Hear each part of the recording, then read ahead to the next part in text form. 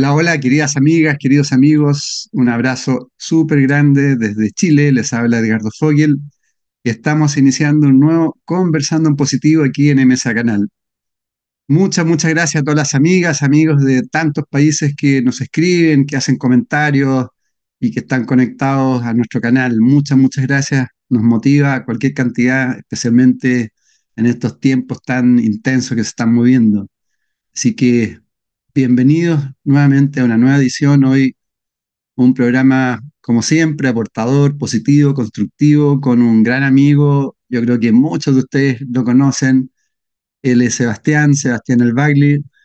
Yo diría primero que nada, yo, yo lo conozco hace ya varios años. Él es un gran buscador, un súper comunicador. Partió con el Chilenian, en Chilean, Chilean, ¿cómo se dice? Chil- Chilenial, Chil- con Millennial chileno. Ese era eso, el. Chilenial.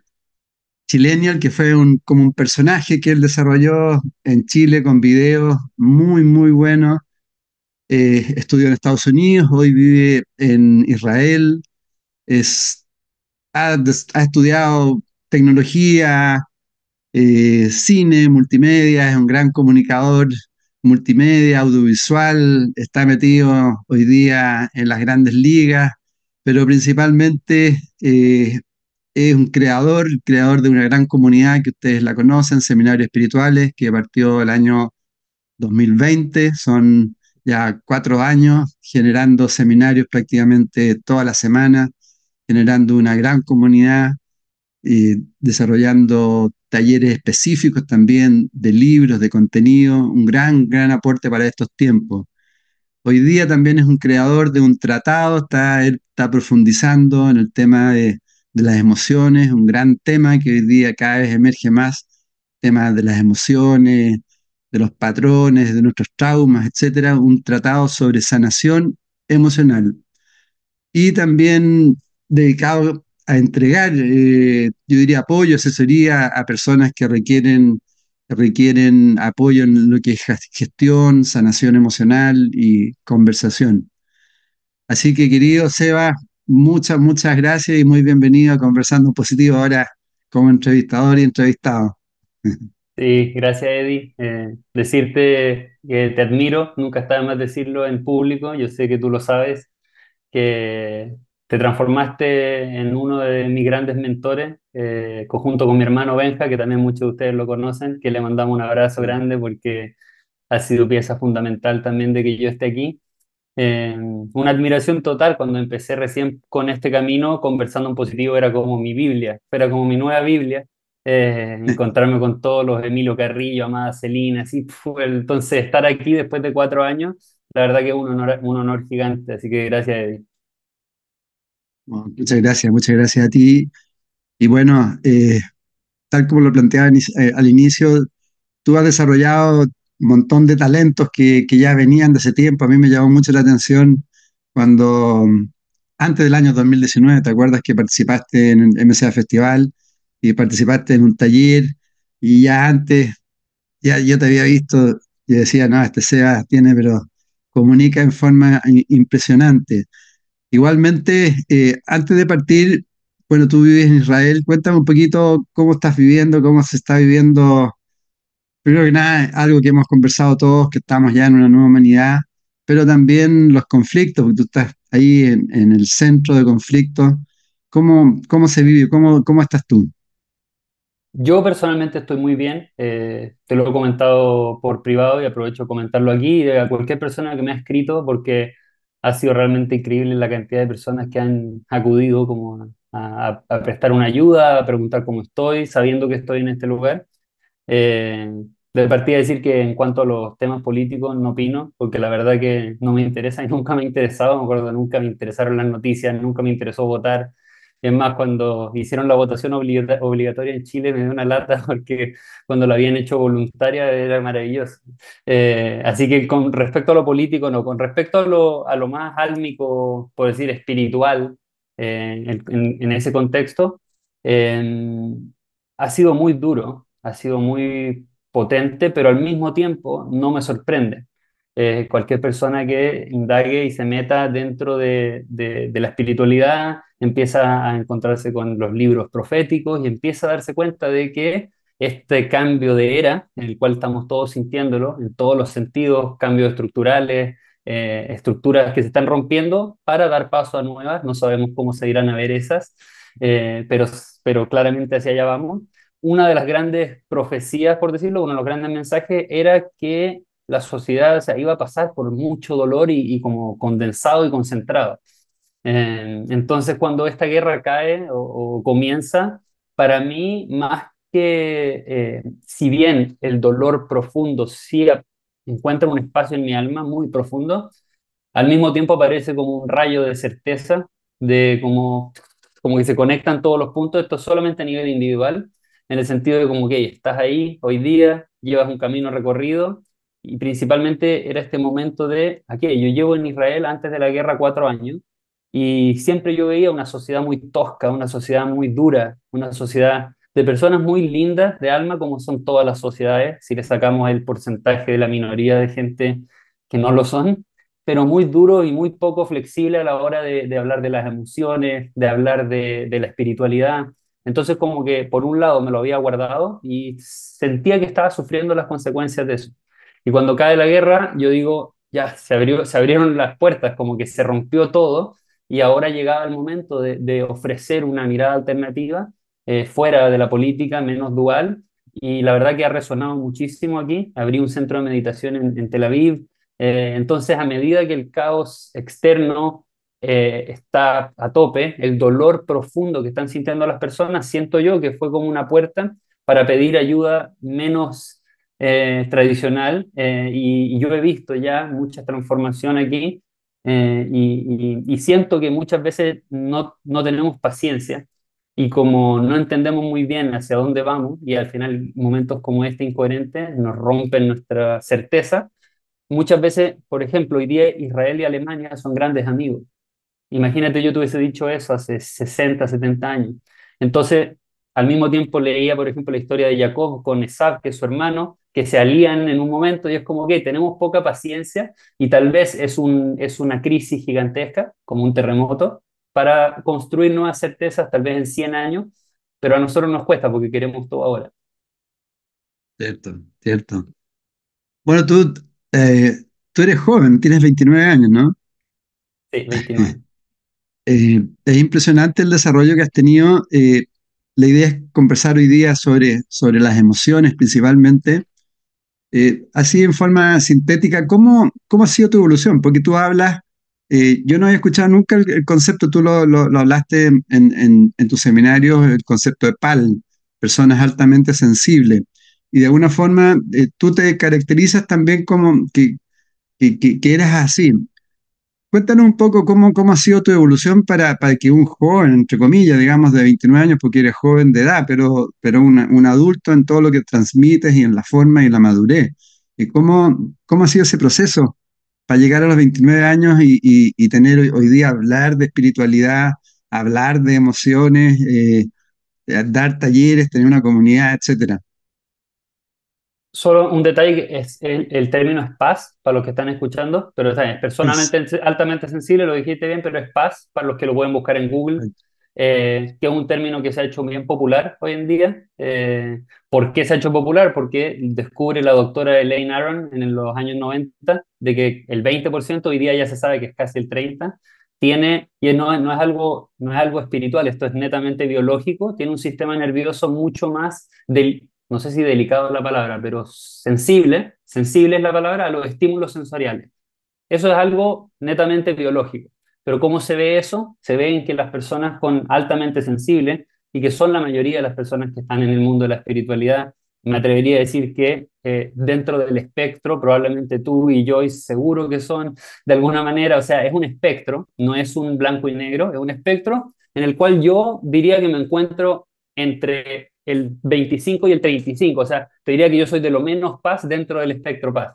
Eh, porque conozco, por ejemplo, personas que son sí altamente sensibles a los estímulos o los olores, a los sonidos, que quedan completamente sobrecogidas, por ejemplo, en, subiéndose al metro. Pero entonces, como comunalidad, comunalidad, a todas las personas altamente sensibles tienen una conexión mayor a los animales, a la naturaleza, a las emociones de los otros, es como que hubiera menos filtro a la hora de, sentir, de sentir lo que sea. Eso en un mundo altamente distópico e incoherente en, en muchas, muchos lugares, tal como hay coherencia y, y utopías que se pueden encontrar, es innegable que hay altos niveles de distopía. A una persona altamente sensible que no ha hecho un desarrollo interno de autoconocimiento y de construir unas bases sólidas de quién es y dónde está parado en este mundo, y tal vez comprender cómo esa alta sensibilidad puede ser un don si es que es bien manejada, puede ser sobrecogedor a niveles imposibles de manejar. Entonces, ese fue mi caso. Mi, caso fue altamente, alta sensibilidad en una época donde a mí me diagnosticaron como niño índigo cuando tenía como 6 años, sin saber lo que era, pero una psicóloga tal vez un poquito más eh, alternativa, por decir, les dijo a mis papás como no lo, no lo lleven a terapia, él es índigo y ok, y desde ahí nunca más me llevaron a terapia y, y me lo dijeron y me vine, me vine a reencontrar con el término contigo probablemente mucho después, con Munay, con personas así que ya eh, venían hablando de esto hace tiempo. Eh, pero yo sentía esa alta sensibilidad, la sentía en mi vida y sentía una diferencia con la mayoría de las personas. Eh, que hasta diría como hasta la adolescencia me llevó a ser un niño como extremadamente curioso, feliz, amigos imaginarios, eh, pero que al mismo tiempo en las noches era, era, era, muy, era, era muy tortuosa la experiencia de irse a dormir porque sentía como, como voces y sentía como un universo como fuera de lo racional, pero que era demasiado para un niño. Entonces eventualmente se fue callando eso y como escribo en el tratado, ese, esa alta sensibilidad me permitía a mí, yo fui a un colegio ortodoxo judío, me permitía ver que, por ejemplo, si bien el rabino se vestía de rabino y hablaba como rabino, yo veía por dentro que estaba sufriendo, que si tenía un mal día, como que esa alta sensibilidad, y es común a todas las paz, no solo a mí, por si les hace sentido a los que están escuchando, es como poder ver a través. Pero eso es como un arma de doble filo, porque por un lado me absorbo como esponja los dolores del otro, por otro lado, si es que empiezo a agarrarle rencor a la vida, empiezo a agarrar resentimiento contra las personas, porque es como, ah, este es un farsante, un mentiroso, y eso fue lo que me empezó a pasar un poco en la adolescencia, que en un comienzo esos dolores que yo veía en las otras personas empezaron a aparecer dentro mío. Una relación amorosa fallida donde una persona no altamente sensible probablemente me rechazó a las dos, tres citas cuando yo en mi mente me había armado la película de, de Disney eh, y me rechazó y eso para una persona no altamente sensible era borrón y cuenta nueva, salgo con la que viene, yo estuve seis meses llorándolo eh, y cosas así, cosas de la familia, eso todos lo sabemos, ¿no? o sea, podemos entrar en detalle, pero eso es como el, ahí, ahí están, la mayoría de las heridas vienen de los papás y en la, en la infancia, adolescencia, y después me fui a Estados Unidos y empecé como a construir una certeza, pero muy superficial, como le llama Luis C., el barniz espiritual. Eh, empecé a leer unos libros, tuve unas experiencias con las plantas medicinales, pero estaba más vacío que nunca. Como que había, había logrado comprender, ah, esta gente es falsa por fuera, por dentro sienten esto, pero yo me sentía más vacío que nunca. Y en ese vacío llegué a una depresión profunda, profunda, así que nunca se lo dije a nadie en el momento, sino que no iba a clases, eh, estaba muy como consumía lo que fuera para escapar. Y desde esa crisis es cuando sale como el, en el año como, como tenía 20. Entonces de ahí empieza un proceso haciéndolo para que podamos entrar donde tú quieras, de nueve años hasta el día de hoy, donde me, me aboqué como un conejillo de India a la exploración de quién era yo y con una pregunta muy, muy honesta y muy simple, que era la pregunta de Chilenial, era, ¿se puede ser feliz? Esa era mi pregunta. Y esa pregunta me, me guió hasta el día que lo conseguí, por decirlo, y, y, y, qué significa ser feliz. Bueno, otra preguntaza. ¿Y cómo fuiste potenciando también eh, esos, esos talentos que tú tienes, especialmente en el campo de las comunicaciones, de la llegada con las personas, porque es como contradictorio con la otra parte tuya, ¿no? Muchas personas cuando, por ejemplo, ahora acabo de terminar una maestría acá en Israel de nuevas tecnologías y muchas personas cuando presento me dicen, hoy como, qué suerte, porque tú eres un, you're a natural, me dicen, eres un natural, como, no sé si en, en español eh, te sale natural. Y yo como siempre me río porque, sí, me hago todo el flashback, me hago un viaje entero. Yo, Eddie, yo no podía presentar a seis personas en clase porque me ponía a tiritar. O sea, no sé si a alguien le ha pasado que le toca hablar en persona, a ti ya no, pero, pero tal vez en un comienzo, ah. así tiritando, sudando, el corazón así con, eh, palpitando. Y, y, tal vez una de las grandes claves que, que, que me di cuenta en ese proceso de sanación era que de alguna manera mi sanación estaba al otro lado de mi zona de confort estaba como a las afuera de mi zona de confort. Entonces, hice algo y, y es muy característico mío, hoy día más adulto lo veo, que es como ser un revolucionario, pero incluso de mis propias creencias, más que de la... De, fui cambiando la revolución externa, que era como, ah, estos rabinos son unos farsantes, esto, y la empecé a cambiar por la revolución interna, era como, me da miedo hablar en frente a las personas, tomé clases de teatro, esto tampoco nunca se lo dije a nadie, y figuraba yo haciendo bailes con sillas, con, con mucha vergüenza, eh, abrí un canal de YouTube. Si tú veis mi primer video de todos, yo estoy temblando, pero el segundo menos, el tercero menos, y de ahí a los 13 videos me llamaste tú, taller de compost en frente del NSA Festival, sin saber mucho de compost, de nuevo zona de confort. Entonces yo diría que fue eh, el deseo de romper con mis miedos el que me fue entrenando a desarrollar esas habilidades, porque para nada eran naturales, hoy día parecen naturales, pero para nada eran naturales, sí siento que tenía esta, como, esta, esta vocación y esa vocación era más fuerte que el miedo y me llevó a romper con los miedos, yo creo. Yo creo que está como esa mezcla, siempre está como esa dualidad, como vocación y después desarrollar las habilidades y se juntan y cuando hacen el match correcto se ve, se, siente, yo creo que se puede ver. Ahora, ¿a qué, a qué llamas vocación? Porque yo te, te, doy mi ejemplo, digamos, en el sentido de que yo, yo era también hiper tímido y entre las distintas cosas que desarrollé como desafío fue también el teatro. Y, y la verdad es que lo recomiendo en un 100%, porque para el tímido, ¿no es cierto? Pero eh, la convicción que me llevaba a eso era de que la, la vida era un poquito más que, que, que, la, que, la, que la rutina, porque había conocido al que fue mi maestro, Darío Sala, y como que me abrió. Por, ahí va la, pregunta. O sea, ¿te, llegó e, esa lucecita también? Yo creo que es una respuesta que tiene como dos respuestas, es como dos grandes pilares. Uno, y esto es cada vez me he ido atreviendo más a compartirlo porque en su momento tal vez creí que me iba, no sé, que iba a poder ser juzgado por esto, pero yo, Eddie, desde que tengo cuatro años me iba a acostar hasta como los trece y escuchaba todas las noches tú viniste a cambiar el mundo, tú viniste a cambiar el mundo, se lo escuchaba todas las noches. Entonces era como, es un mensaje que se tatuó dentro mío muy fuerte y nunca me lo pude borrar, incluso cuando estaba adicto a la marihuana, que trataba de borrar, de borrar, en los momentos cuando lograba como, como incluso en los dolores, cuando, cuando el dolor era muy profundo y lo dejaba sentir, volvía a aparecer ese mensaje. Ese fue el mensaje de alguna manera que fue el que me fue guiando como mi estrella, mi North Star, mi estrella del norte, eh, y que como, y como estoy escribiendo en mi segundo escrito, eh, que fue esta arma de doble filo. Era como mi veneno y mi antídoto. Porque mucho peso para un niño tener este mensaje. Como, eh, entonces, eso por un lado. Entonces, eso estaba, estaba como tatuado en mí, incluso si por muchos años lo borré. Eh, porque también yo quería ser un niño normal, un adolescente normal, salir de, fiesta, como decimos en Chile, de carrete. Entonces yo quería vivirlo todo y no me arrepiento de haberlo vivido porque me dio perspectiva. Entonces, si bien lo, lo intenté borrar por mucho tiempo, la vida naturalmente siempre me iba llevando como a eso. Y cuando me tocaba hacer un proyecto en clase, me, me río ahora, le estaba mostrando a mi, novia, por ejemplo, en, a los 15 años, yo fui a un colegio gringo y escribí un ensayo de la responsabilidad que tenía Estados Unidos en la caída de las Torres Gemelas.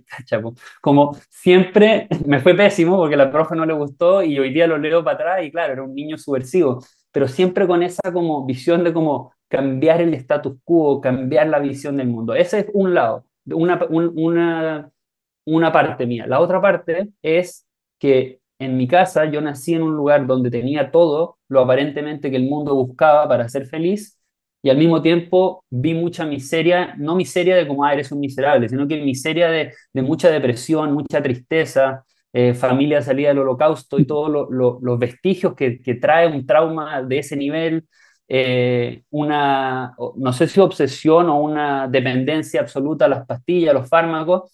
Entonces yo veía todo esto y como, gracias a Dios, yo no fui el, la persona que sufrió más, como que a mí me dejaron como abandonado, entre comillas, yo lo agradezco toda mi vida. Entonces había otra persona, que era mi hermano grande, que también es una de mis grandes inspiraciones en su, historia de superación, pero que él desde los 13 a los 21 años pasó por una depresión a nivel así increíble. Y, yo siempre veía desde los 10 años, 11, 12, yo decía, claro, a un ciego lo ayudan a cruzar, a una eh, persona con una pierna lo ayudan a cruzar la calle, pero ¿qué pasa con mi hermano? Que se ve bien de afuera, pero desde esta alta sensibilidad y desde convivir con él, él, él vive mucho peor que un ciego y vive mucho peor que un cojo, por decirlo, y nadie lo ayuda. Entonces, eso empezó a despertar y también, si le sumo la tercera variable, estando en Chile y viviendo dentro de este 0,1%, la disparidad y esa, yo creo que esa sensibilidad que tiene cualquiera que se acerca a la espiritualidad de, de, de como este sentido de justicia de, querer que haya, que haya una vida con igual oportunidades y, que tal vez después cuando empecé a entender más el karma y todo, tal vez mi visión cambió, pero como un niño veía mucha injusticia, veía mucha invisibilidad, los dolores internos y acompañado de este mensaje potente todo el rato de tú viniste a cambiar el mundo, que, que era, claro, mi veneno y mi antídoto que me, me fue llevando ese despertar. Sin duda, tal como tú dices, la, la depresión eh, es, una enfermedad muy oculta, muy invisible, ¿ah? eh, y que uno la descalifica cuando ve personas así, que le dice ya, cambia, cambia nomás, y es fácil. En realidad no es, no es así, ¿ah? Y hay, y tal como tú planteaste tantos años, y tu hermano también tantos años, mamándosela sola, en el fondo, trabajando sol, solo. Eh, ¿Cómo la relación de, de las drogas con el desarrollo de conciencia, con abrir, cómo lo ves tú eso? no, que hay que, hay que, hay, hay, que experimentar para poder ver como una nueva luz. ¿Qué, qué opinas tú, teniendo las experiencias? Sí, buenísima pregunta. Es algo que lo, lo, he, lo he interiorizado harto, porque por un tiempo igual sentí mucha culpa, porque yo experimenté bastante en mi época de, de entre comillas, despertar con las plantas medicinales, especialmente el psilocibe, que son los que se llaman los honguitos, y el ácido, el LSD, y en, en una como graduación, el San Pedro, en San Pedro, si quiere podemos hablar sin, sin problema de esa experiencia, que fue la última vez, hace como seis años, siete años. Y claro, por mucho tiempo sentí mucha culpa. También la, marihuana, obviamente, como un, eh, una sustancia muy eh, abridora de mente. Eh, ¿qué lo, ¿Cómo lo entendí yo? Yo entendí, hice una analogía, al final la analogía es fácil, más fácil de comprender, que digamos que la evolución de conciencia es una, una maratón, 42 kilómetros. Y yo iba por la vida, porque todavía me acuerdo cuando fumé por primera vez, fue muy abridor de mente, o sea, fue muy, eh, eh, fue una iluminación en su, a su manera. Mentiría ahora si te digo que después sí estuve adicto y me atrapó como, como todo, como cualquier persona que fuma además, pero en ese momento fue wow, o sea, la naturaleza, soy parte de la naturaleza, me bajó la ansiedad y ese sentimiento de sobre todo me hizo, me hizo darme cuenta que, que yo era como parte de, y que no era como yo un mundo individual y que era como ensimismado en mi propia mente. Esa fue como la gran evolución de conciencia. Pero ¿qué es lo que pasa? Y esto es como lo veo yo, que la evolución de conciencia para llegar a lo que se le llama muchas veces en estos círculos la conciencia budística o crística, que sería como nuestra mayor expresión de, de conciencia, es como una maratón de 42K. Y yo estaba en el kilómetro 2, o sea, partí como un niño, ok, este mensaje, tuve unas rupturas amorosas, me sentía enojado con la vida, me sentía que era una víctima de la vida y cuando fumé sentí que me llegó al kilómetro 4, en ese momento no lo entendía, pero en ese momento avancé en esta evolución de conciencia de cómo veía el mundo y que al final la evolución de conciencia, me atrevería a decir como una definición, es verla con menos error de percepción, no es más que eso. Es como ver mm. la realidad con menos grados de errores de percepción de cómo son las cosas, cómo funciona, sobre la muerte, sobre la enfermedad y muchas cosas. Entonces, en ese caso, la, marihuana me entregó ese kilómetro 4, pero ¿qué es lo que pasa? Que luego tuve otra ruptura amorosa, pero una relación más potente, que la logré salir adelante, conocí amigos, eh, me, me empecé a desarrollar en otras áreas y ahora cada vez que fumaba me llevaba de vuelta al 4. ¿Por qué? Porque la inteligencia de esta planta especial, pero al fin y al cabo, una planta llega hasta, tiene un tope. En su esencia llega hasta un tope. Entonces, ¿qué es lo que pasa? Y le pasa a cualquier persona que fuma. Nadie puede mentirse a sí mismo. En un momento te, te ayuda, pero después te frena. ¿Y por qué te frena? Porque tu conciencia evolucionó pasada la conciencia de la marihuana. Ahora bien, las plantas medicinales, los alucinógenos, es muchas veces como un kilómetro 22. Entonces ahí hay otra, ah, es un arma de doble filo. ¿Por qué? Porque yo me tomé mi primera vez, mi, mi, mi, mi viaje, como se dice, si lo sigue, de un quito mágico estando en el kilómetro 5 y me fui al 22 de un día para otro, básicamente entendí el mundo completo, se acabó la experiencia, volví a mi vida y me, eso me llevó a una depresión total. ¿Por qué? Porque la evolución de conciencia se hace en base a tus acciones y en base a tu libertad. Entonces nada, si bien algo te lo puede mostrar, fue como rasgar el velo de la Matrix así como de una y después me sentí desnudo por muchos años frente a la vida hasta que tal vez no logré llegar a ese estado de conciencia por mis propias decisiones que era sanar relaciones con mi papá, conocer el transgeneracional, ir a terapia tradicional, de la más tradicional, eh, confrontar mis miedos en la intimidad. Esa era mi vida al final. Y, entonces así lo veo, eh, nos responde bien el... sí, está perfecto. Yo creo que es muy bueno lo que estás diciendo porque es como también es un puzzle, ¿no? Es decir, eh, puede ser una muy buena experiencia, pero, pero ojo, también puede ser una muy mala experiencia y puede generar una, una limitante muy grande en nuestro crecimiento. Entonces tiene que, tiene que hacerse, por ejemplo, no sé, yo conocí bastante, quiero mucho a Claudio Naranjo, eh, y él fue uno de los iniciadores con, de las experiencias con plantas alucinógenas en Estados Unidos, pero con investigación, con estudio. Entonces, él planteaba que, claro, que, en general él se reía, decía, los políticos deberían tener esa experiencia para, para que se den cuenta, pero siempre transmitía lo que tú estás diciendo, que en realidad eh, eh, hay que tener mucho ojo ¿Y cuáles tú crees, eh, Seba, eh, bajo también tu propia experiencia y lo que ya estás hoy día profundizando el tema emocional, las principales traumas, las principales experiencias traumáticas que uno, uno tiene que, que van generando esas heridas emocionales a través del tiempo? ¿Son principalmente el tema familiar, los padres? Eh, ¿cómo, cómo, cómo, lo has vivido o cómo lo ves también de acuerdo a lo que tú has investigado? Yo creo que hay, hay distintos niveles como está, bueno como ponerlo en distintas como carpetas, porque es algo bien complejo.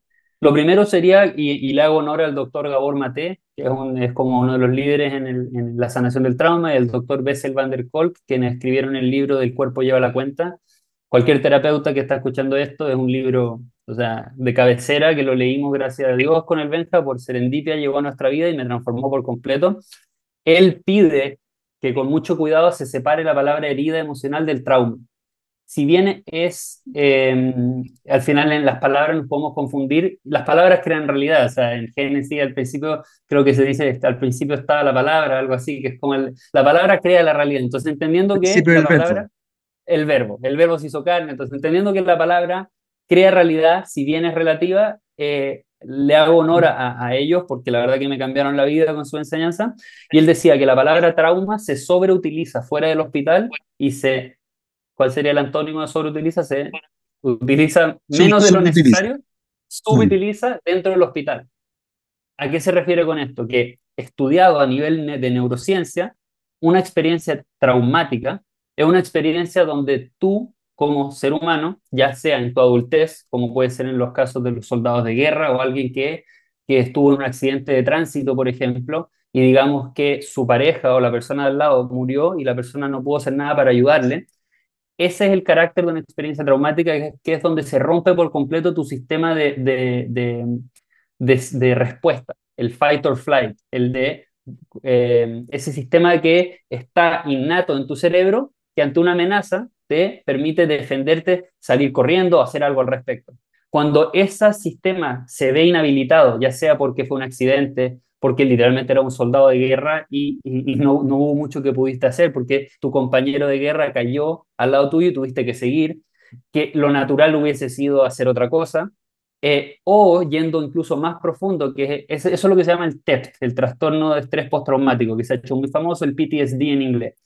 Pero lo que descubrieron ellos, que más profundo aún y más difícil de sanar, era el TTD, que era el trastorno del trauma del desarrollo, que es cuando a los niños, por lo general es abuso sexual, se les rompió su sistema de, confianza en la vida y de confianza en ellos mismos. Es decir, fueron abusados probablemente por, una, por un adulto y obviamente su, su, su, cuerpo los hubiese llevado a defenderse, pero hay una parálisis total.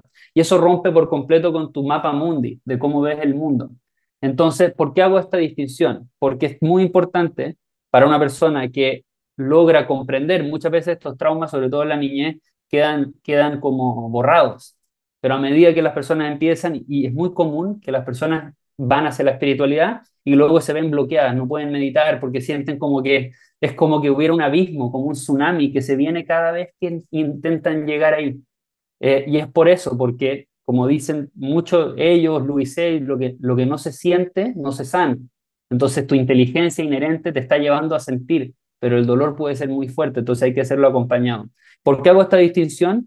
Porque es muy importante, si es que se, tiene la comprensión de que se sufrió un trauma, hay que tratarlo tal como fuera una, una cirugía a corazón abierto. O sea, el cuerpo biológicamente quedó desregulado para siempre hasta que no se haga un trabajo de volver a regularlo se puede sanar y eso es, lo, es lo más lindo. Una herida emocional es más sutil. Una herida emocional es de alguna manera donde tus conexiones neuronales te hicieron construir un mapa mundi del mundo, tu, tu sistema biológico sigue funcionando bien, pero te hicieron creer, básicamente, porque tuviste un padre, digamos, inseguro, te hizo, o, o, una madre bipolar, digamos, en la que la mamá un día te celebraba y el otro día te hacía sentir culpable por todos sus males, tú básicamente, como tus padres son lo más cercano a Dios, fuiste construyendo este mapa mundi de que básicamente no, se puede estar bien siempre. O sea, la vida siempre es de altos y bajos, entonces la persona naturalmente va construyendo una historia de si le va bien, le tiene que ir mal después. Pero fue construyendo ese mapa mundi porque sus dioses, que eran sus padres, le mostraron que de eso se trataba el mundo. Entonces, Está claro, también lo dice Rudolf Steiner, la antroposofía, por eso en los colegios Waldorf se trata tanto en los primeros siete años de que el niño que pruebe, que cree y no adoctrinarlo, porque esa adoctrinación, no nos damos cuenta, cuando el cerebro está más maleable, crea por completo el mapa mundi. Eh, y ahí se transforma obviamente en la gran tarea para nosotros adultos, cuando ya crecemos y realmente queremos ser adultos y no solamente vernos como adultos, que es embarcarse en un 100% a, a la autoobservación y entender cuáles son todas esas, uno, errores de percepción y dos, todas esas como emociones y sentimientos que tuve que exiliar de mí. Los tuve que exiliar para sobrevivir. Porque si es que mi mamá era la víctima todo el tiempo, yo tuve que hacerle de mamá de alguna manera. Entonces tuve que exiliar de mí los sentimientos de que son muy naturales de sentirme a veces desamparado en la vida. Entonces, si yo no me permito sentir y cada vez que aparece el sentimiento de sentirme desamparado, me culpo, estoy construyendo como una doble costra y estoy bloqueándome básicamente de la experiencia. Entonces, por eso yo me, me transformé como tan majadero por mi propia experiencia y hoy día en la comunicación, que no hay nada más importante que la sanación de esas heridas emocionales. Y para cerrar el punto, entendiendo que cuando hay un trauma, es como, a ver, aquí tengo, me gusta hacer la, la analogía, ¿se ve el cuenco? Es como que nosotros, nosotros fuéramos este cuenco y esas heridas son fisuras que se le van haciendo al cuenco. Y digamos que la vida es un flujo constante de energía, ni mucho ni poco. No, no, hay, mm. no hay exceso, no hay abundancia así ilimitada, pero sí hay suficiente. ¿Qué es lo que pasa? Entonces, que la gente se va sintiendo vacía. ¿Por qué? Porque tiene estas fisuras dentro suyo de cómo ve el mundo. Entonces, ve todo como un problema, ve a las personas como enemigos, y eso te va haciendo gastar esta energía en defenderte pero en defenderte de fantasmas, básicamente. Entonces, ¿qué es lo que pasa? Que un trauma es como tener un forado de este porte, un hoyo así, no hay de dónde agarrarse. Entonces, cuando hay un trauma, hay que reconstruir, tal, tal como lo harían cirujanos en una cirugía de 10 horas, reconstruir el tejido y reconstruir, ¿para qué, qué es para una persona traumada el tejido? Es reconstruir la, la certeza, no la idea, la certeza de que tus acciones te llevan a buen puerto porque ese, ese es el dolor más profundo, no confiar en tus propias decisiones. A nivel de herida emocional, a todos nos pasa, que tenemos ciertas partes de nuestra vida, ciertas fisuras, donde se nos va drenando esta energía, y por eso para mí lo más importante es ir a hacer el trabajo de ir cerrando esas heridas, porque luego la vida va entrando y saliendo a su ritmo. Muy buena, muy buena la imagen que, está, que estás mostrando, súper bien. Eh, en, tu tratado ahí tú explicas la emoción, tú de hecho lo, lo divides, ¿no? En E-moción, eh, energía en movimiento, muy clara también la imagen. Eh, en el fondo, tenemos que movilizar energía. Tú hablas que es un campo de energía, toda energía que irradia con nosotros, los pensamientos, las emociones. Y cada emoción obviamente tiene una frecuencia vibratoria. Y también hablas del corazón, que emite un poderoso campo magnético. Explícanos un poco cómo, cómo visualizas e, es, eso, el corazón, energía, eh, y cómo se relacionan con estas emociones intensas que también tenemos desde niños. Eso, eso fue lo, que yo fui comprendiendo por observación propia, eh, que claro, está el cuerpo físico con su, con su diseño altamente sofisticado, eh, que si, se, si me corto, el, el cuerpo naturalmente va a la sanación, pero luego a medida que yo creo que cualquier persona que va entrando en este mundo va entendiendo que tal como el agua y el gas son los dos H2O, el gas no se ve, pero sigue siendo H2O. Entonces, empezamos a darnos cuenta que hay un cuerpo que nos sigue al cuerpo físico, que uno, uno lo puede empezar a palpar. Como, tal como el gas, que es invisible, pero sigue siendo H2O, uno puede empezar a palpar que hay como un cuerpo emocional y que hay un cuerpo mental, que si bien son como metáfora, se pueden visualizar como que si fueran extensiones nuestras. Y luego está lo que se podría llamar el cuerpo espiritual, pero los más importantes para comprender para nosotros son el físico, emocional y mental, porque son los perecederos y son los que tenemos que conocer, porque el espiritual es como el, eterno, es como el que de alguna manera siempre está ahí. Entonces, ¿qué fue lo que empecé a comprender yo? Que, y, y, mucho gracias a Eckhart Tolle en el libro Una Nueva Tierra también, que él habla ahí de, el, se crea como un bucle entre lo que él le llama el cuerpo del dolor, que es el cuerpo emocional herido, y el ego, que para él es la mente que tiene que proteger a este, a este cuerpo emocional herido. Entonces, eso fue lo que empecé a entender, que si mi cuerpo físico, tal como el agua, haciendo la analogía, podía herirse, mi cuerpo emocional, si bien no lo podía ver, también podía tener heridas.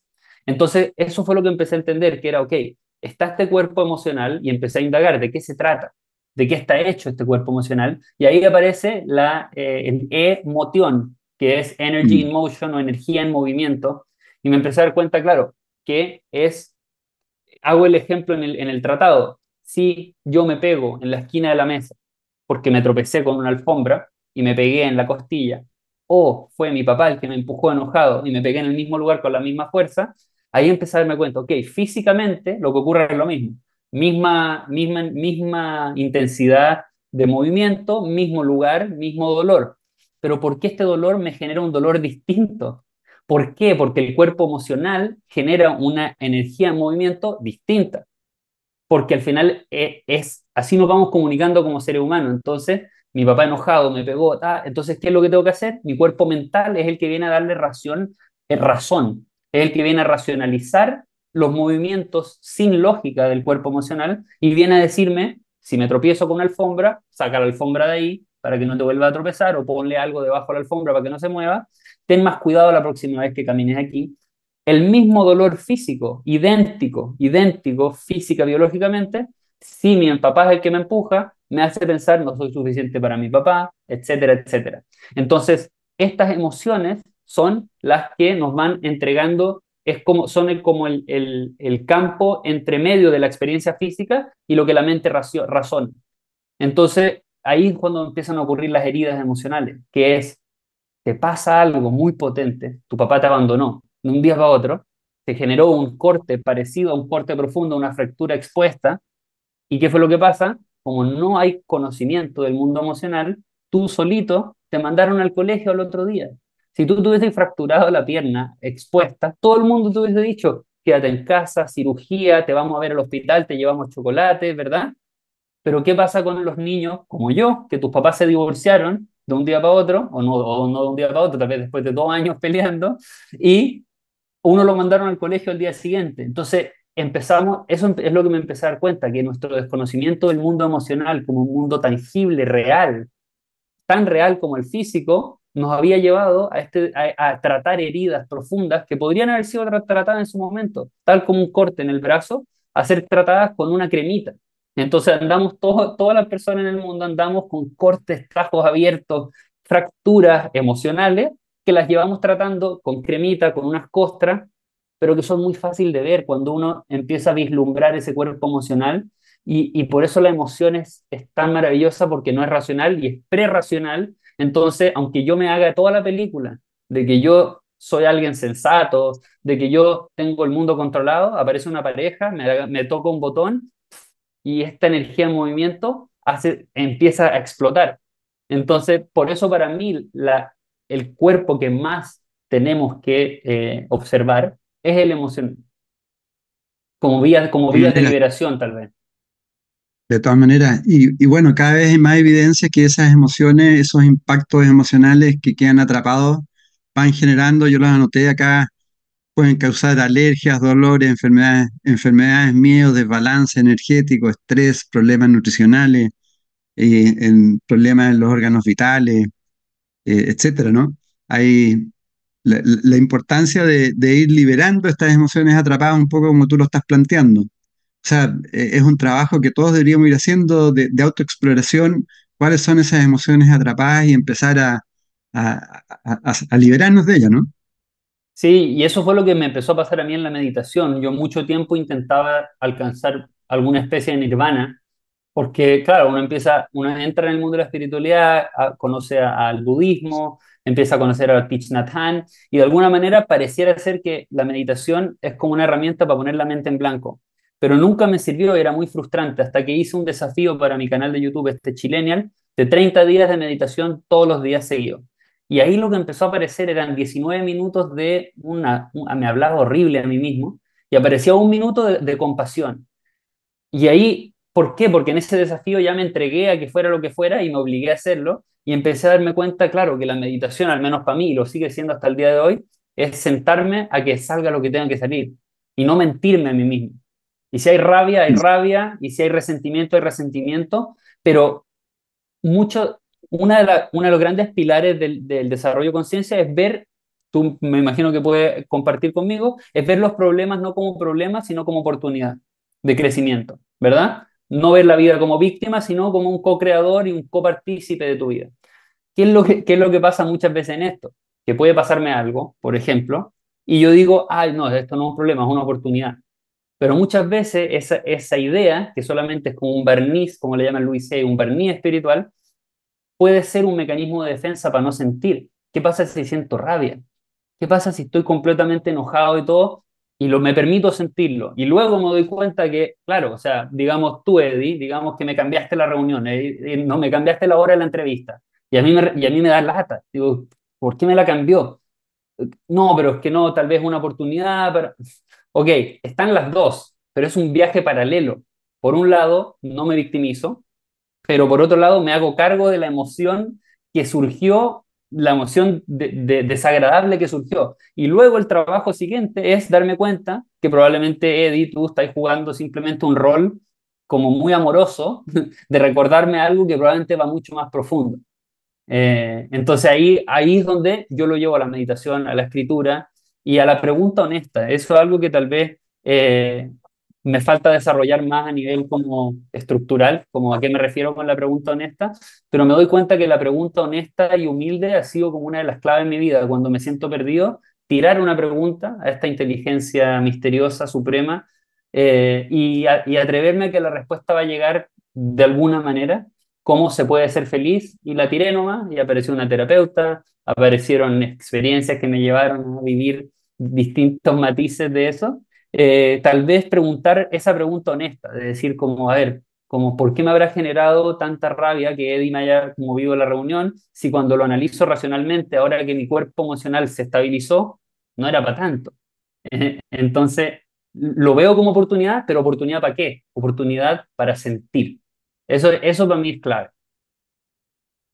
Y ahora eh, entiendo que ya te vas a casar pronto, eh, posiblemente seas padre. ¿Cómo eh, estás cada vez investigando más el aspecto de la gestión emocional?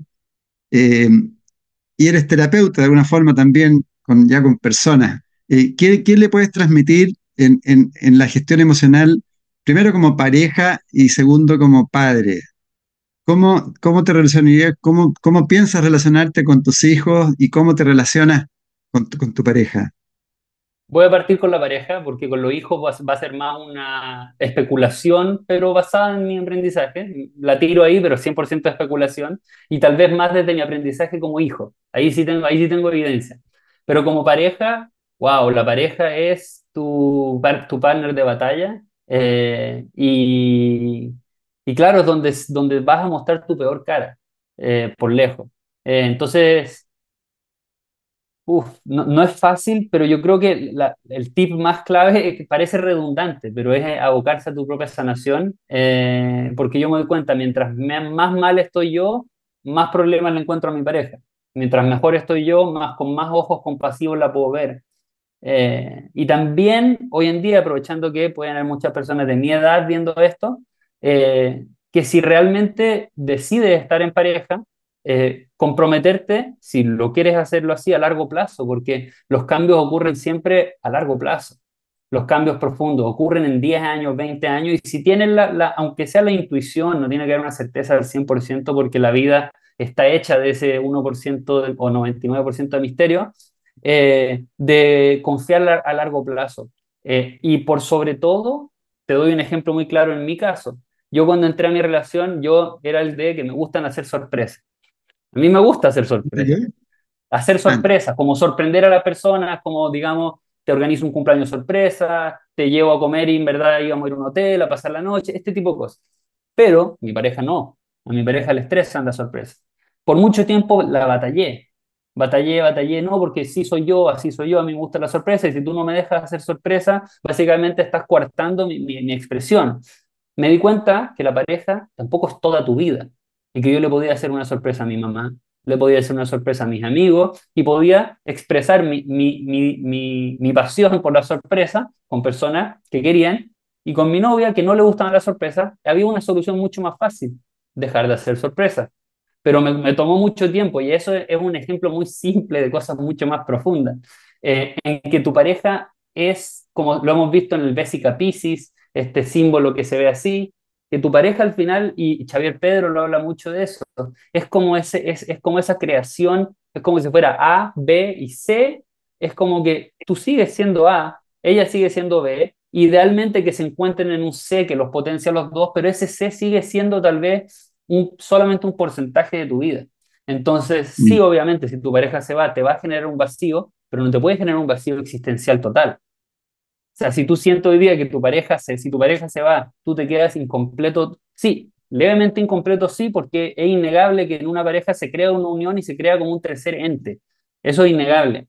Pero, pero sentir que te va a quedar 100% vacío, eso es algo, es algo peligroso y es algo para interiorizar y algo que yo creo que ocurre mucho en, en, en un comienzo, que es como, había un vacío en mi vida, esta pareja me, Eckhart Tolle habla mucho de eso, me, me, prometió y además que jugó el juego porque ella también tenía un vacío. Los dos hicimos el juego del cortejo, como los pajaritos que hacen sus bailes con las plumas, con colores. Entonces yo confié en que esta persona iba, iba a quitarme el vacío existencial, ella también, pero al dar, cuando pasa el tiempo empieza a aparecer ese vacío y te das cuenta que esa persona no te lo llena y uno le empieza a agarrar rencor a esa persona. Entonces es, es muy complejo eh, yo tal vez sí, tuve hartas experiencias eh, de aprendizaje, por no llamarles negativas, que tal vez cuando ya llegué a mi, a mi relación en la que me voy a casar ahora, tenía esa certeza, porque si es que no, probablemente hubiese terminado en algún momento, sin duda, porque se pone difícil. O sea, tú tenés mucho más años que yo de experiencia, se pone difícil naturalmente realmente la relación de pareja, pero para los valientes creo que es un campo de aprendizaje tremendo, o sea, es como un... pero hay que ser valiente, hay que ser valiente y abocarse y, y, también... Eh, no, no me quiero meter en, en, controversia, pero hablo desde mi experiencia en una relación de hombre-mujer, eh, entender yo como hombre que si hay ciertos roles que tal vez las mujeres necesitan y tal vez uno como hombre que la mujer sí necesita, más allá de que como ser completo tenemos energía femenina y masculina, que también a mí me ha ayudado mucho para sentirme más como empoderado en la relación y, al mismo tiempo entregar con un piso seguro en la que veo que mi pareja tiene donde pararse.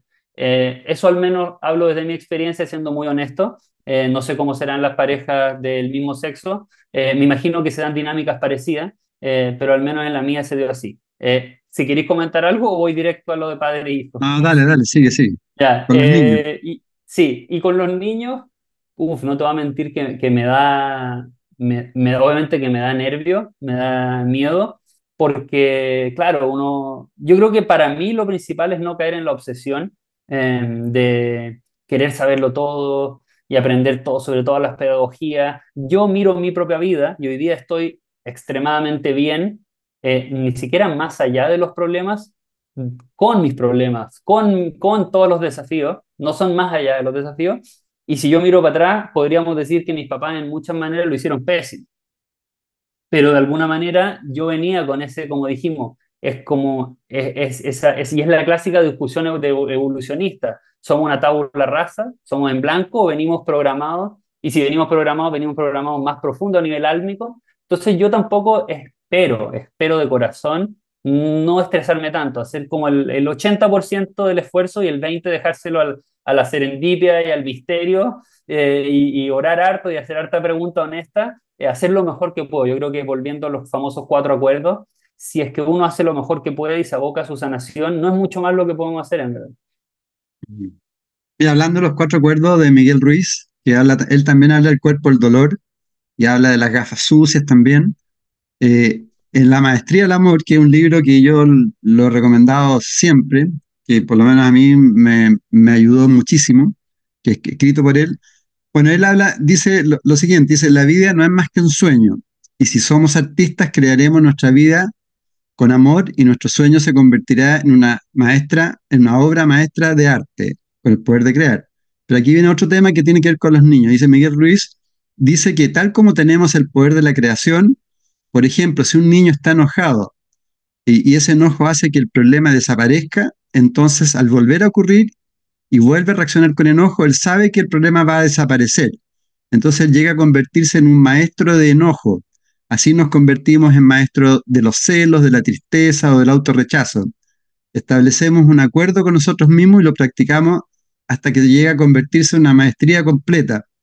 El modo en que pensamos, que sentimos, que actuamos se convierte en algo rutinario que dejamos de prestar atención. Funcionamos a control remoto, es decir, de alguna forma ahí llega esa programación. Eh, porque, claro, cuando chicos vamos viendo distintas situaciones, entonces la, adoptamos. Eh, y entonces él dice que para convertirnos maestros del amor tenemos que practicar el amor. La práctica es una cuestión de acción. Hay que tener conciencia de cómo funcionamos los seres humanos. Dice, la mente humana padece una enfermedad que se llama miedo. El cuerpo emocional está lleno de heridas infectadas por el veneno emocional. El miedo se manifiesta a través del enfado, la tristeza, la envidia, la hipocresía. El mundo está plagado de enfermedad mental. Tenemos miedos a ser heridos y creamos un sistema de negación y nos convertimos en unos mentirosos con una máscara social. Eh, los toltecas lo llaman el sueño del infierno. Todo es sueño, el sueño de la sociedad humana, el sueño del planeta, y en realidad somos puro amor, somos vida. Y ahí también habla lo que tú decías, a los cuatro a cinco años empieza a aparecer las primeras heridas emocionales. Por eso los momentos más ricos es cuando jugamos, cuando éramos más chicos. Por eso que se habla del niño interior y todo eso.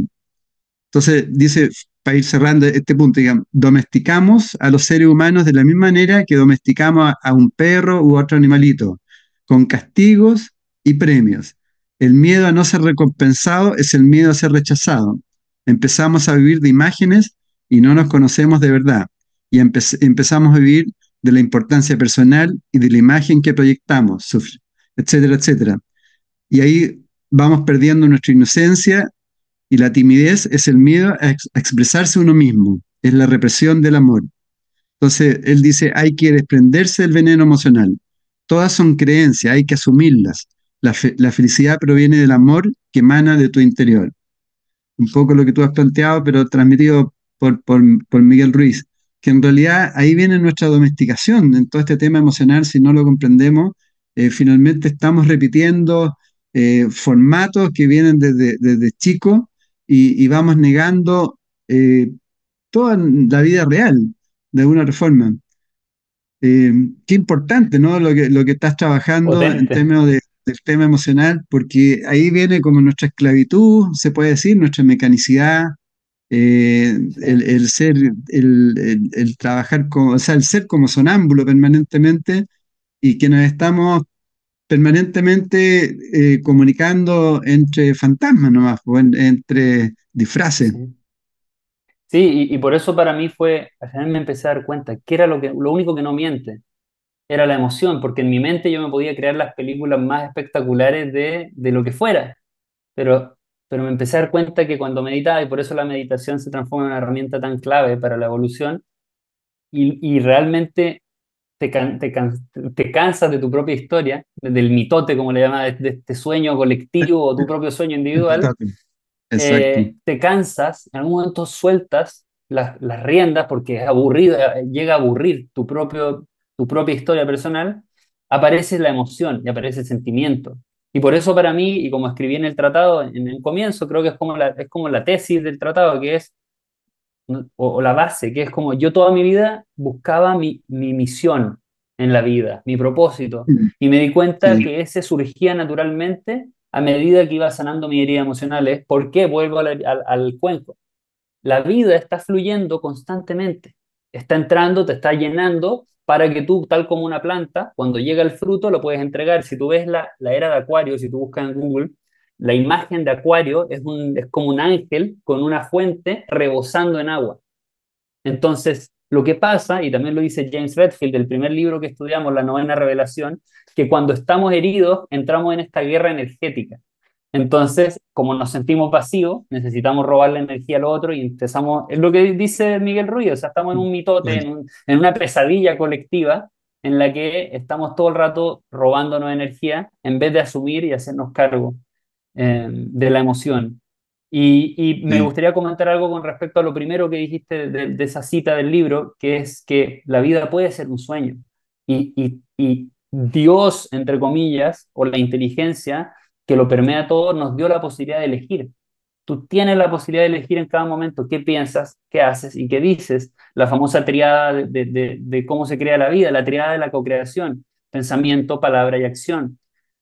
¿Qué pasa? Que desde el programa, como dice Miguel Ruiz, vamos creando y co-creando un infierno y no nos damos cuenta y como es un infierno no nos gusta y no nos queremos hacer cargo, entonces culpamos al, que, sea, al que esté de turno cuando comenzamos a darnos cuenta de, esta realidad, que todo es mente, que como es adentro es afuera, de todas estas cosas, aparece, y esto es algo que tal vez me gustaría dejar como, como hablamos harto como así abierto, pero esto puede ser como algo para notar, que podría ser bueno que lo escuché hace poco de Tony Robbins.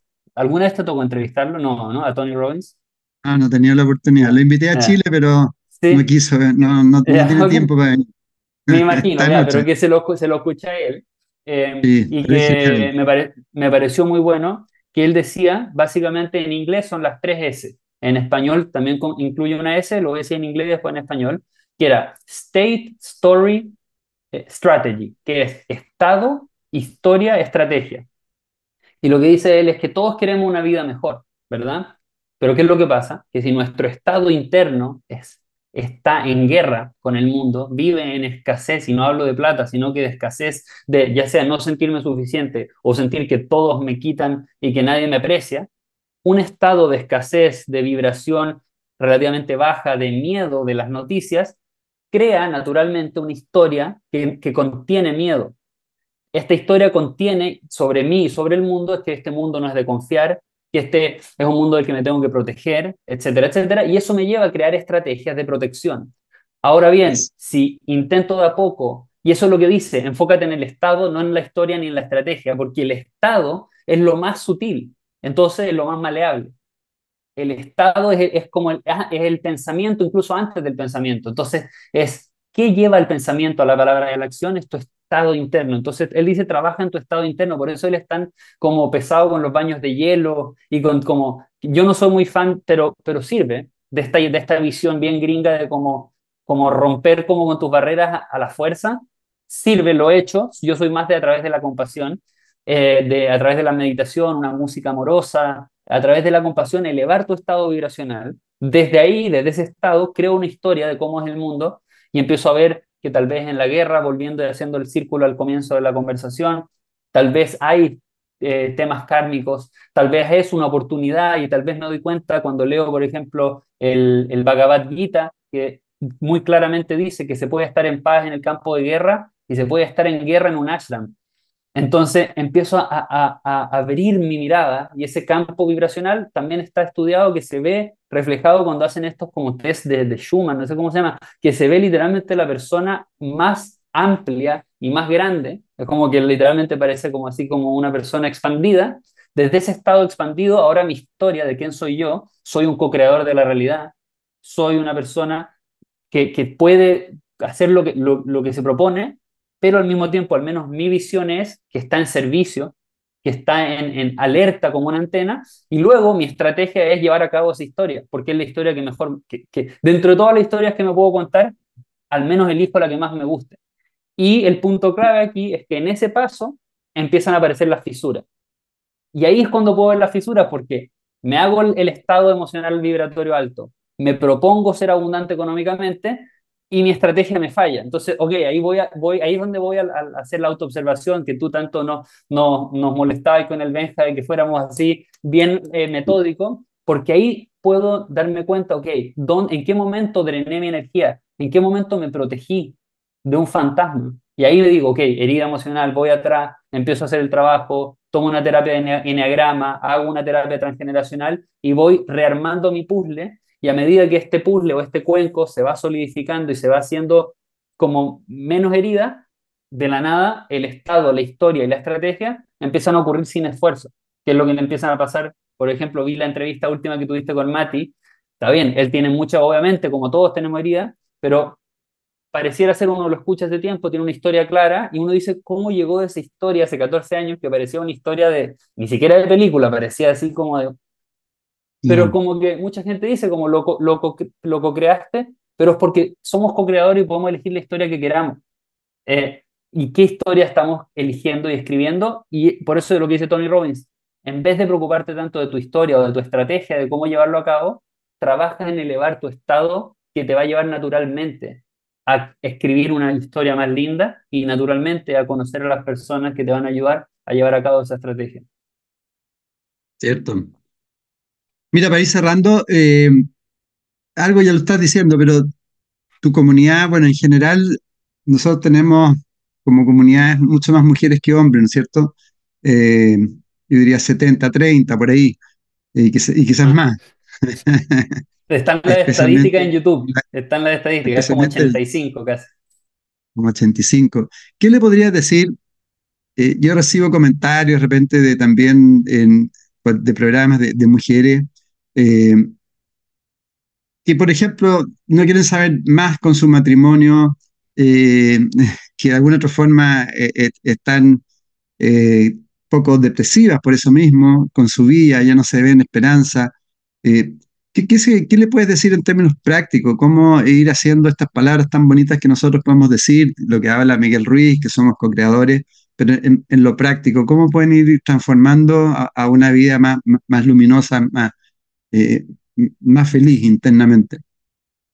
Yo creo que si la persona no se quiere separar, que es muy válido, y que no creo que la separación sea necesariamente la solución, es realmente proponerte, da lo mismo la edad, porque para esto no hay edad, proponerte realmente construir una vida para ti mejor, salir al encuentro de personas y, aunque tengas 70, 80, tomártelo a largo plazo porque las transformaciones vibracionales ocurren. Si tú le empiezas a impregnar a, ese hogar, no con la intención de que la persona cambie para que tú seas más feliz, pero si tú realmente te abocas, y, esa es una, de las maravillas de, la, de la tercera edad, por decir que hay tiempo, hay tiempo para probar, para conocer, a veces hay una pensión que te permite invertir unas 30, 50 luquitas en una terapia, en algo así. Eh, luquita, digo, en Chile, para los de afuera son dólares, lo que sea. Plata en invertir para tu, para tu evolución, probar alimentación y tal como hablábamos en el, punto anterior, este campo magnético, la otra persona no es inmune a eso. Entonces no hay que entrar por la mente y muchas veces somos muy pesados y yo también lo fui un tiempo con mi pareja, de como ser pesado, como de la meditación y todo, y hoy día naturalmente ella me pide meditar cuando está estresada, después, pero, pero ¿cuándo ocurre eso? Cuando tú construyes esa coherencia eh, internamente. Eh, al mismo tiempo, es un tema difícil, pero tampoco hay que quedarse en ningún lugar solamente por miedo, eh, pero hay que ser muy honesto con uno mismo, y esta tal vez, tal como la pregunta honesta y, y inocente hacia la divinidad de cómo, de, qué se trata esto, hay una pregunta que es muy madura y que es de adulto con uno mismo, que tal vez uno no se hace lo suficiente, que es ¿para qué? ¿Para qué tomo este taller de registro akáshico? ¿Para qué voy a seminarios? ¿Para qué realmente? Y, y muchas veces no nos hacemos esa pregunta. Entonces, tal como está la pregunta humilde de buscar que la divinidad de alguna manera te muestre el camino, está ese, es como que yo siento que la, divinidad o, todo esto es como que te estás tirando el brazo, pero hasta la mitad. Y es como que tú tienes que ir a agarrarlo. Entonces, tal vez para las personas que dicen, y puede ser personas de 70, 50, 30, lo que sea, es atreverte desde la certeza que todos llevamos dentro de que ese brazo está estirado. Y yo creo que nadie que va y se estira a agarrar ese brazo no se encuentra con el brazo.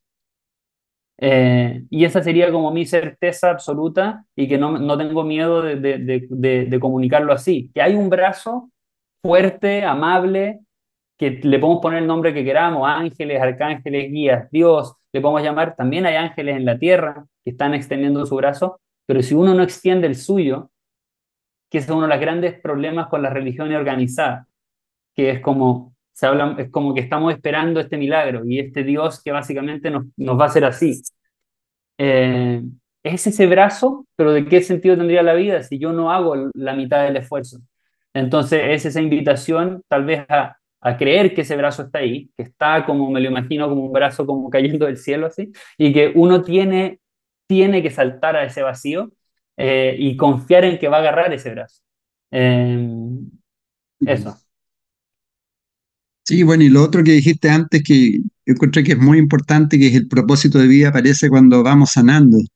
Eh, o sea, eh, y empezar la sanación y el propósito llega solo, llega, eh, ¿no es cierto? Llega por correspondencia. En, en, tu caso, por ejemplo, a medida que has ido sanando, ¿ya, ya, ya, ya profundizaste en, en tu propósito? Sí, o sea, es que yo mi propósito creo que de alguna manera, a ver, el propósito se va desenfundando como enfrente de tu ojo, eso, que eso es lo lindo. Eh, es, verdad. Es, es, como que se va, es como que, como, claro, es como, como que se fuera como, lo vas como, se va colapsando, eh, como lo que dice Joe Dispensa, del el mundo de las infinitas posibilidades, se va colapsando una vida llena de propósito. Y, y ese es el propósito, es una vida que, que, que está completamente rellena de propósito. Entonces, pero es a medida que voy sanando las heridas, porque si no me tengo que defender de estos fantasmas. Entonces, eh, y, por ejemplo, te quería leer una cita que fue muy potente para mí en su momento y que me generó también como mucha confusión. Es un libro que se llama Arpas Eternas, que es un libro canalizado sobre la vida de Jesús, que tiene como 1500 páginas, realmente una hermosura de libro. Eh, no vayan directo a comprarlo y leerlo porque es como el curso de milagros, ¿no? Son esos libros que si es que, si es que sientes, puedes leerte unas páginas, pero decía en un, en un momento, y la tengo aquí, era una frase que me la anoté incluso como de fondo de pantalla, que decía, consolar un dolor es parecerse a los ángeles de Dios. Los hombres de esta tierra buscan hacerse grandes y dejan a un lado el único camino para hacerlo, consolar a los que sufren y derramar el bien sobre la tierra. ¿Ok? Y, y eso como que fue como, me llegó al corazón, porque era como, cuando tú dices, si bien mi propósito tal vez era confuso, yo sentía que yo había venido a eso al mundo. Pero ¿qué fue cuando realmente me llegó esa frase?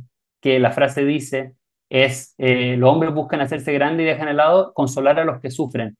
Y yo trataba de consolar a todos los que sufrían, pero el sufrimiento que llevaba yo. Entonces, si es que tú te abocas a consolar tu propio sufrimiento de primeras, la vida naturalmente se rellena de propósito, es como una cosa como que en cada respiración, en cada planta, pero si no, estás con estas grietas, entonces te sientes todo el rato como que no es suficiente. Entonces, a consolar nuestros propios dolores eh, y pidiendo ayuda, pidiendo ayuda 100%. Bueno, yo te he visto en redes, en lo último del Día de la Mamá, que le escribiste una cosa súper bonita a tu mamá. También es una forma de ir trabajando, el ir comunicando, ¿cierto? Sacando hacia afuera tus sentimientos, tu emoción. Sí, tu vulnerabilidad, tu honestidad. Eso ha sido tal vez mi... Sí, piensa, yo, o sea, me lancé con un canal de YouTube y todo teniendo miedo. Entonces yo creo que una de las grandes claves, si no, era como, era esta confianza en la vida de que si yo me lanzo hacia algo que, hace, que me hace sentido dentro mío, la vida me, lo va a celebrar o me, va, me va a acoger.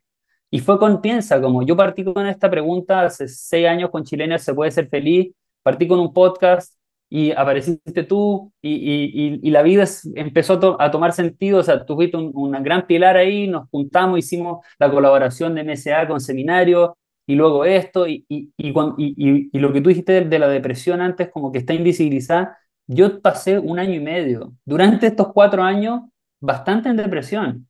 Entonces, que también no romantizar como, como ese que mm. cuando ya hay un despertar de alguna manera, tampoco se acaba, se acaba eso, porque, claro, aparecen más dolores y aparecen más heridas, eh, y, y, y, tal vez sí, tal vez, eso, o sea, como no mentirse, ser esa honestidad radical, creo que uno de los valores y que son muy, si le digo a los hombres, tal vez jóvenes, el, el, el, el 5% es bien sexy también. La honestidad radical, pero vulnerable y no avasalladora. No como, pero sí una, una vulnerabilidad que siento que le permite a la, a la pareja, a la otra persona, a un, a, ver, y que también, ¿qué, ¿para qué? ¿Qué tipo de vida quiero? ¿Qué tipo de relaciones quiero? Entonces, si yo tengo la, la posibilidad de hacer un emprendimiento con alguien y estoy con esta pareja, para hacer, no pareja, eh, una pareja, un partner, y le comparto que tengo miedo, que esto no funcione, que todo, y él me dice, yo también, pero vamos juntos, pero si yo me la juego de ser como, como este, como, no, si mi mamá igual sabe que la quiero. Entonces mi mamá como me llamó después de que le escribí eso, había miedos en mí, pensará mi mamá que por qué no se lo escribo por privado, que por qué lo hago público, pero, pero hay que lanzar nomás. Y mi mamá me escribió, me dijo, no sabía el regalo que me hiciste, como esa, esa admiración en público, como no sabía lo que significa, y es como, es ese, ese, y a ver, y si al final en el fondo, en el fondo, en el fondo no nos podemos equivocar realmente, encontrar ese, ese, ese, esa, esa clave de que uno no se puede equivocar, es al final el que te permite volver a jugar y volver a ser el niño, eh, que claro, que cuando te equivocaste cuando eras chico te reprimieron, entonces asumiste que el error era lo peor que podía pasar. Eh, y sí, nada, está bien, te felicito, muy bien. Hay que atreverse, ¿no? Hay que atreverse, hay que, hay que ser más osado en- como buen guerrero. Sí, No, dej- dejar de, de vender ahí el, la, la imagen, tratar de y sentirse muy importante por cosas que no tienen ningún sentido. al final. sí, son mecanismos de Bueno, defensa, ¿no? estamos, estamos cerrando, querido Seba, dar lo que tú quisieras transmitir a todas las amigas, amigos de Conversando en Positivo. Yo creo que si les gustó, obviamente, y resonaron mucho van a conocer seminarios espirituales, eso siempre, obviamente, hacemos seminarios todos los domingos en vivo, a veces con Eddie, hemos hecho muchos, buenísimos. Eh, Sí, y, y intenté, a través de la escritura, plasmar un poco lo que hablamos hoy día. Entonces, si les interesa, escribí un tratado abierto, gratuito, eh, que pueden descargar ahí en mi página web. Creo que los enlaces quedan en el canal. Eh, y eso, como yo soy muy vocal en el sentido de que yo le, digo a mi, a mi comunidad, yo escribo un newsletter y les digo, contesten, como no me lean y no me, y me dejen en visto, porque esto, esto o sea, y, y tra- como para las personas tal vez que están del otro lado hoy día, como lo estuve yo, como ver a, quienes están como en- siendo entrevistados como otros seres humanos más, los cuales les pueden escribir, les pueden pedir ayuda, pero también en el que ustedes les pueden ayudar y, y, y- desarrollar esa, esa- ese liderazgo y esa agencia en el que muchas personas, sobre todo en Latinoamérica, en Israel, nada, en Israel todos creen que son básicamente los reyes del mundo, pero en Latinoamérica hay un, hay un estado de, como de, de insuficiencia profundo, de como yo no y básicamente tengo que seguir a esta persona, entonces para el que está escuchando ahí, como puede que hoy día no, pero si hoy día se proponen desde una propuesta honesta, humilde, de decir, me resuena algo de aquí a 10 años, cuál es el apuro. Eh, pueden estar perfectamente usted aquí enfrente de Lady o pueden estar usted entrevistando. Entonces, eh, por un lado, entender eso, que los que estamos aquí, eh, como lo digo, yo fui mucho tiempo del otro lado, hoy día estoy acá, personas a los cuales también no hay que presionar tanto por las redes, porque a medida que uno empieza a tener, yo tengo 1500 seguidores en Sebastián Albaglín y me llegan hartos mensajes, no me puedo imaginar cuánto le puede llegar a, a, a otras personas que, que los sigue más gente. Eh, claro, es tomar ese, esa responsabilidad también como audiencia del de, de el rol que cumplen eh, dentro de esta evolución que estamos juntos, que no es solamente como un consumidor, o sea, no eres un consumidor, no, eres claramente un agente consciente, un co-creador y que puedes transformarte sin ningún problema en una antena eh, de transmisión de estas cosas. Así que como creérselo y lo que dijiste tú, Eddie, también, como jugar, creérsela, eh, arriesgarse y, y eso. Gracias, gracias. Y gracias a ti, obviamente, de corazón. La verdad que te dije, un honor estar aquí después de haber visto tanto, tanto tus programas y ir al festival y todo. Como... Eh, es un sueño hecho realidad. No, no te diría que, no, no diría que es menos que eso. Muchas gracias, muchas gracias, cariñoso. Bueno, queridas amigas, amigos, eh, tal como lo, lo conversado hoy día, es importante el, ir eh, limpiándose, limpiándose de todas las cosas que tenemos guardadas, reprimidas, y para desarrollar conciencia hay que estar limpiecito y tal como dice Seba, no tener miedo tampoco, si las cosas por algo, por algo han sucedido, tal como, como dicen los estoicos también.